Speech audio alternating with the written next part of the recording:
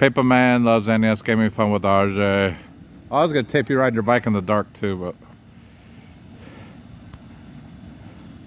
we got the inflatables up and they're lit up now. It's a Goal Reaper. Actually, I forgot what he's called. And the Ghost with the most. He's ready for trick or treat. Has lights on. And we got a bike rider coming in the dark. Gaming and fun with RJ's has his baseball baseball game tomorrow. We're gonna tape him on one at bat tomorrow.